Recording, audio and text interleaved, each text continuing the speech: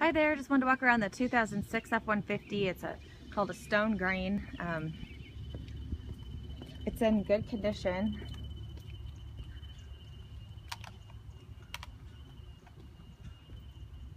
Tires look good.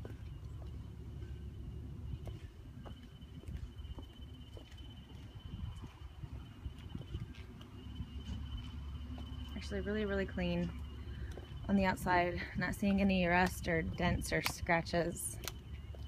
It was a little rainy out here, so could be, you know, a little something here or there, but nothing big at all. Take a look at the inside. It's got cloth interior. It has not been detailed or cleaned up yet, so